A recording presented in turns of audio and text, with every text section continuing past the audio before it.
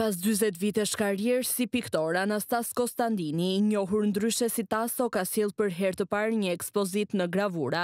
Njëqind e një punime janë ekspozuar në Galerinë e Pogradecit, duke sjellë peisazhet e Pogradecit të vjetër, liqenit, natyrës dhe përditshmërisë. Piktori mirënjohur për stilin e tij unik mes emocionesh tregon se kjo ekspozitë ishte e domosdoshme, ndërsa gjithçka ka një kuptim kritik.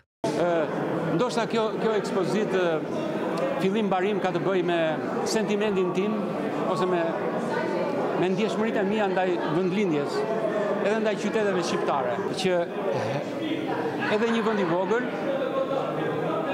mund të jetë një argument për të bërë art, për të tregoj një ekuilibër.